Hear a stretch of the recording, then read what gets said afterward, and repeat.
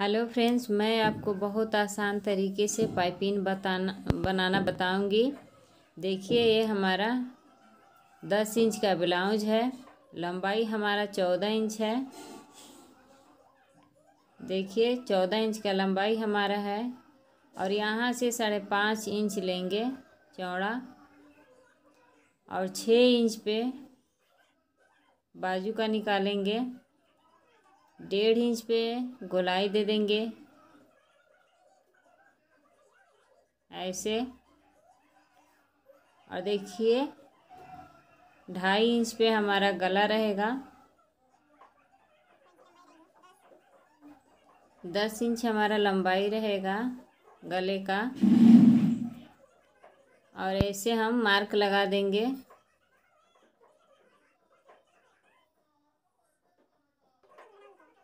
ऐसे गोलाई का सेफ़ दे देंगे। देखिए, अब मैं इसे कट कर रही हूँ।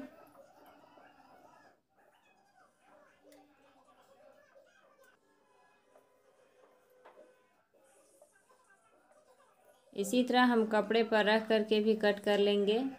यह हमारा अस्तर का कपड़ा है। मैं आपको इसी पर बता रही हूँ।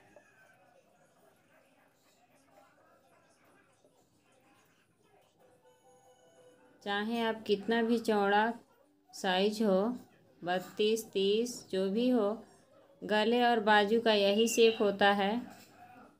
और देखिए हमारा ब्लाउज पीस पे बहुत चौड़ा बॉर्डर है। यहाँ पे हम दस इंच का चौड़ाई ले रहे हैं। और इस, इसे अच्छे से सेट करते हुए अस्तर को ऐसे रख करके दोनों को ज्वाइंट एक साइड में होना चाहिए। देखिए मैं रख रही हूँ। और ऐसे कट कर लेना है। दोनों कटिंग आपको बता रही हूँ।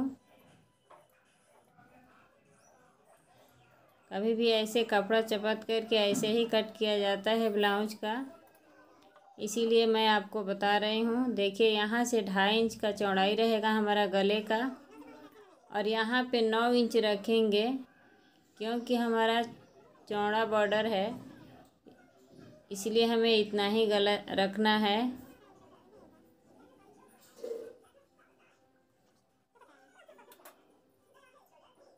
फिर ऐसे सेफ़ देते हुए इसे कट कर लेंगे। गला एकदम हमारा गोल राउंड में है, इसी पे मैं आपको पाइपिंग बनाकर बताऊँगी।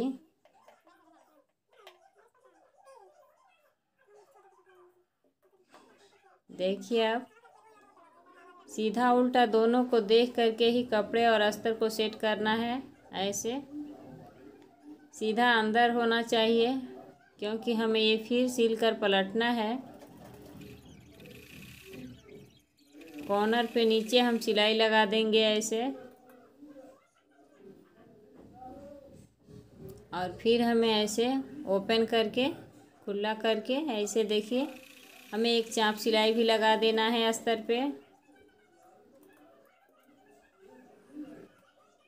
और फिर हमें ऐसे मिलाते हुए हमें टेकिन दो लगाने हैं। पाँच इंच की लंबाई पे। देखिए।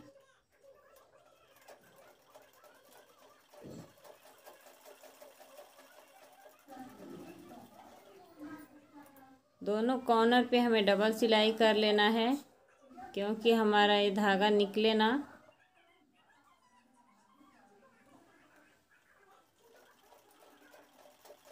हेलो फ्रेंड्स अच्छा लगे तो चैनल को सब्सक्राइब और लाइक ज़रूर कीजिएगा। घंटी को भी दबा दीजिएगा, कोई भी नोटिफिकेशन आप तक पहुँच सके। देखिए, ऐसे सेफ़ आएगा। मैं आपको पाइपिंग के लिए कपड़े कट करके बता रही हूँ। कभी भी कोई पाइपिंग बनाना हो तो कपड़ा ऐसे उरेब कट करना चाहिए, कभी सीधी नहीं।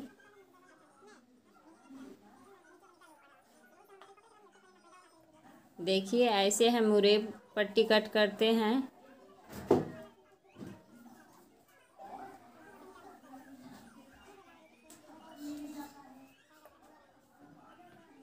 ज़्यादा लंबा पट्टी नहीं कट करें, क्योंकि नौ इंच का ही हमारा गला है।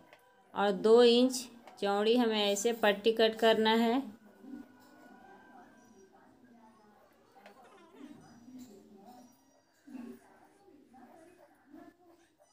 देखिए, ऐसे ही हम उरे पट्टी तिरछे कट करते हैं। और दोनों को कैसे जोड़ते हैं, एक ऐसे सीधा और एक ऐसे, दोनों को ऐसे तिरछे करके सिलाई कर देंगे इस पर अब हमारा दोनों एक में जुड़ गया। और ब्लाउज पे ब्लाउज पे हम, देखिए हम कैसे इसे सिलाई करेंगे। जो एक्स्ट्रा है कॉर्नर है, उसको कट कर देंगे। और दोनों को एक साथ ऐसे ज्वाइंट करके डबल कपड़े करके ऐसे, हम ऐसे कॉर्नर पे सिलाई करेंगे। देखिए, ऐसे ही पाइपिंग हम बनाते हैं।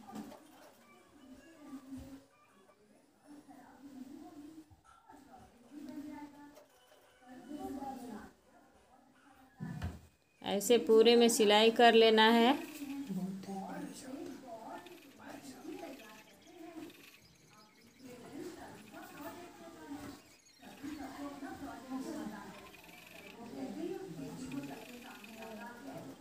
देखिए, ऐसे हम डबल कपड़े को पूरे सिल ली हूँ और ये छोटा छोटा कट से लगा रही हूँ।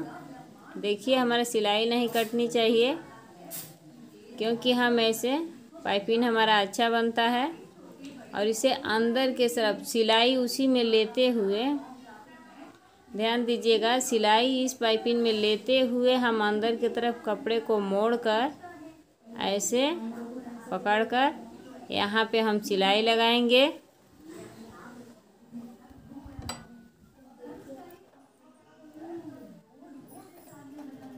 इसी तरह पाइपिंग के पास ही हमारा बारीकी से सिलाई चलनी चाहिए।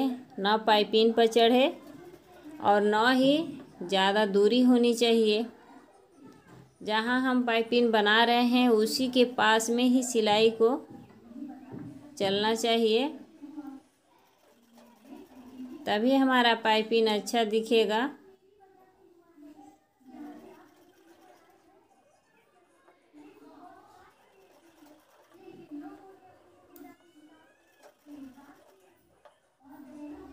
जहाँ गोल राउंड है, वहाँ आराम से ऐसे पाइपिंग बनाते चले जाना है।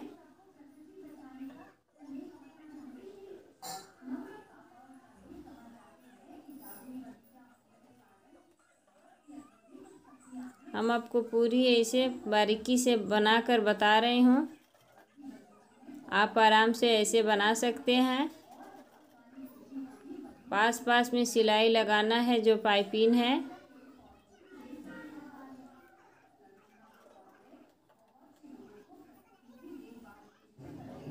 कोई भी बनारसी साड़ी, सिंपल साड़ी पर ऐसे हम बिना डिज़ाइन के अच्छे से पाइपिंग देते हुए हम अच्छे से बना लेंगे। कोई भी ब्लाउज को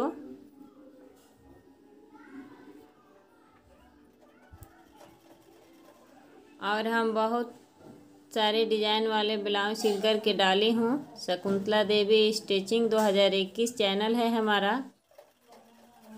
आपको यदि सिलना हो तो आप उस पर सर्च मार करके आप देख सकती हैं मेरे चैनल पे। ये हम पाइपिंग आपको बता रहे हैं, सिंपल से ब्लाउज में। देखिए, कितना अच्छा बन गया। दोनों कॉर्नर पे थोड़ा ज़्यादा रखी हूँ, क्योंकि आगे के पार्ट ज्वाइंट करके हम इसको जोड़ लेंगे। वीडियो देखने के लिए धन्यवाद।